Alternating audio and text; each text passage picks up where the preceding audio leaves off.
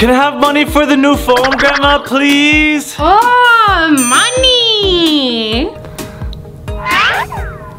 One, two.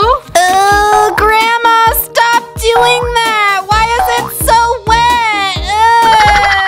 Ugh. Ew, Grandma, it's so gross. Do you want it or not? Uh, yes. Oh. Uh, thanks, Grandma. At least I got money for my new phone. Oh, no, ah, no, Grandma, stop.